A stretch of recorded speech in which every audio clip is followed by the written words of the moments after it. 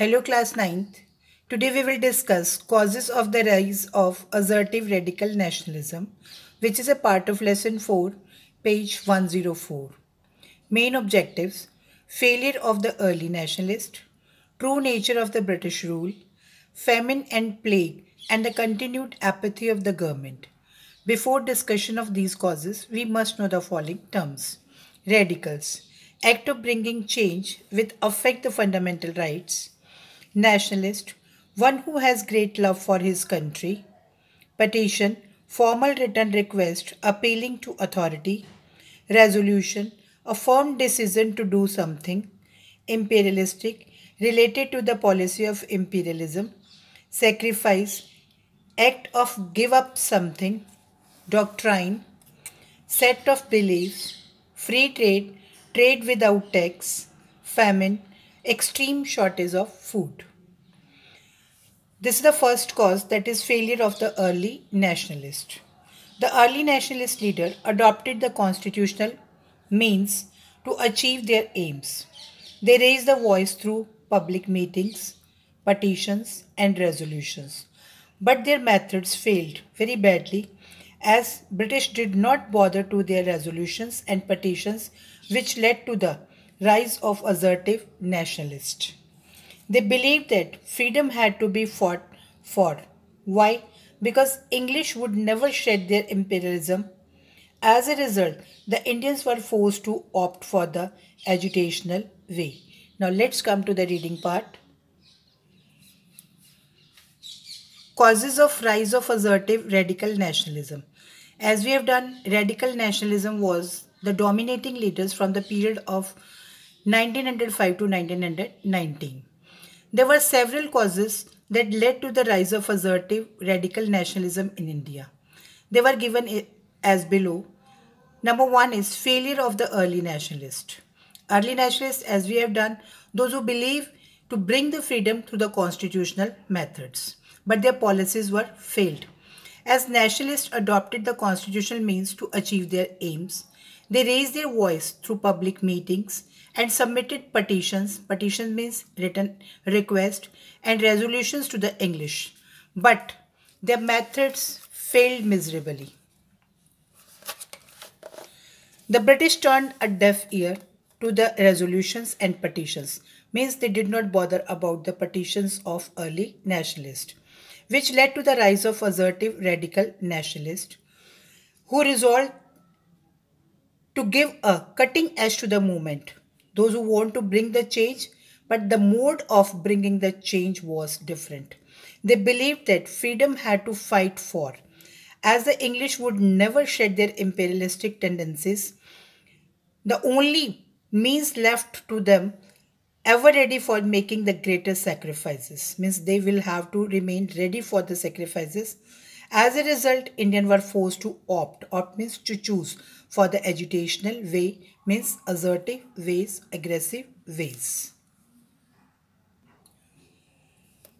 True nature of the British rule. That was the second cause. The effort made by the early nationalist leaders through their writings.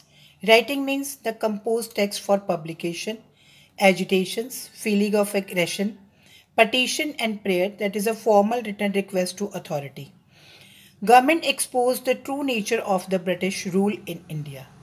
It was felt that the British rule was responsible for the economic ruin, means economic collapse, growing poverty. Poverty is a position when the people are unable to fulfill their basic needs. Some of the political events from 1892 to 1905, like reduction in the number of Indian members in the Calcutta Corporation, Restrictions on the press made Indian realize their strength. This convinced the Indian that India could not make progress under the British imperialism. Now let's come to the reading part. True nature of British rule. The constant economic drains means regular transferring the wealth of India to Britain on the resources of the country due to the foreign rule added to the discontentment in the country. Discontentment, dissatisfaction. The assertive radical nationalists exposed the true nature of the British rule which had been eating into the very structure of the Indian economy. Means they were eating the Indian economy in a regular way. Means they were transferring the wealth of India to the Britain.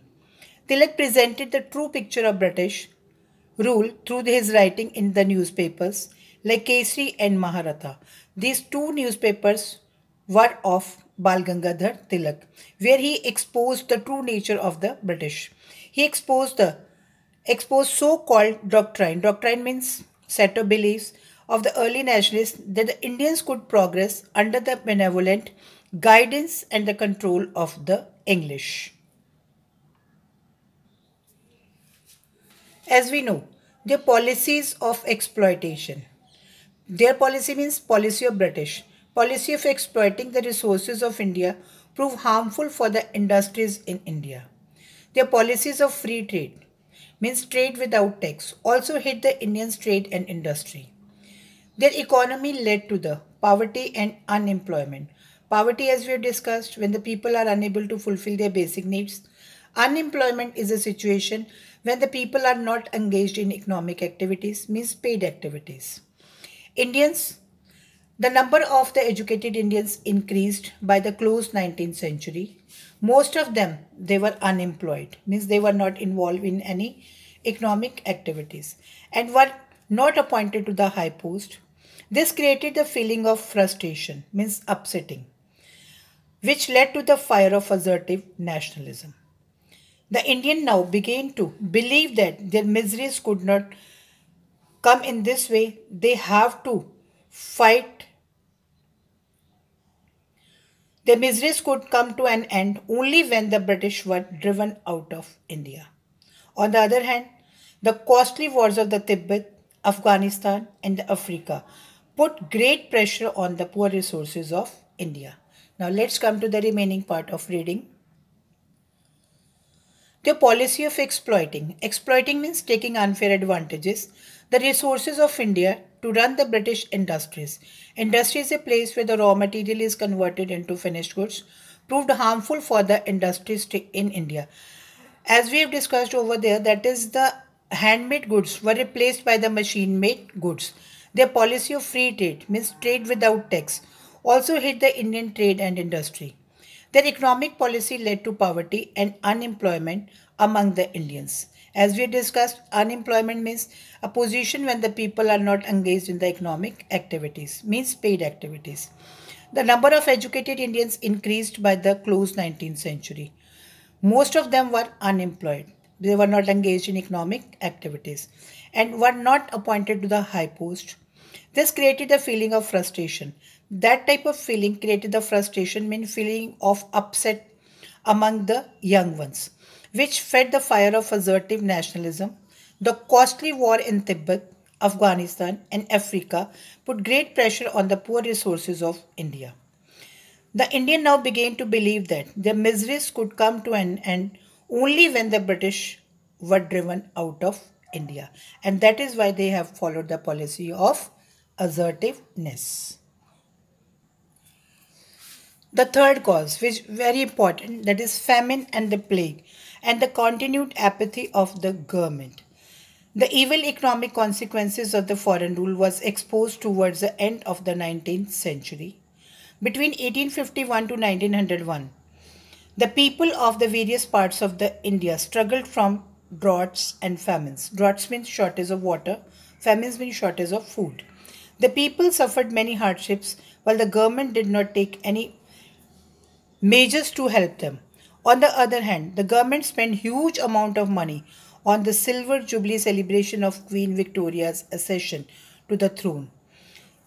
They attributed to the anti-national policies followed by the British government. Bal Gangadhar Tilak attacked the policy of the government in the Kesari and Maharatha. That was a newspaper of Bal Gangadhar Tilak. He was strengthened. He was sentenced to 18 months for the rigorous imprisonment because he has given his views in his newspaper. It sent a wave of resentment through India.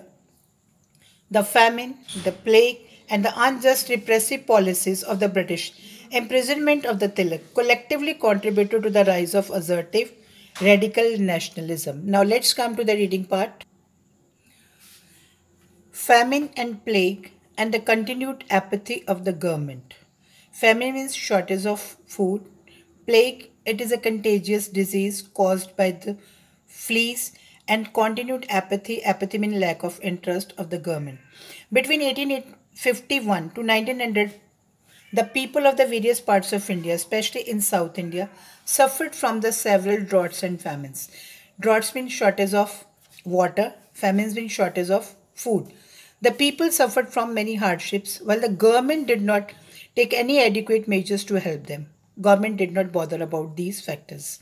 On the other hand, it wasted a huge amount of money on the Silver Jubilee celebration of Queen Victoria's accessions. They were spending the huge amount of money on Queen Victoria's accessions. Similarly, when the plague raged in Pune, the government's indifference and apathy added to the anger and disgust of the common peoples. They did not bother about all these factors. Tilak attacked the policy of the government in the Kesari and Maharatha quite vigorously.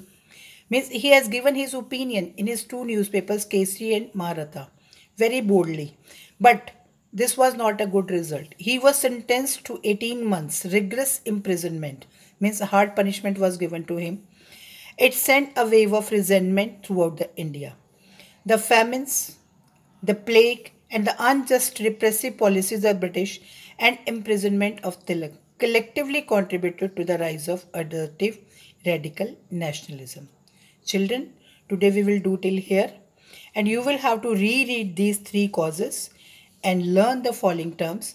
And this is one very important fact file that we will discuss over here. In the second half of the 19th century, there were 24 famines. 6 between 1851 to 1875 and 18 between 1875 to 1900. According to the official records, 20 million people died during these famines. Please learn these fact file also and kindly check your SNAP homework. Thank you.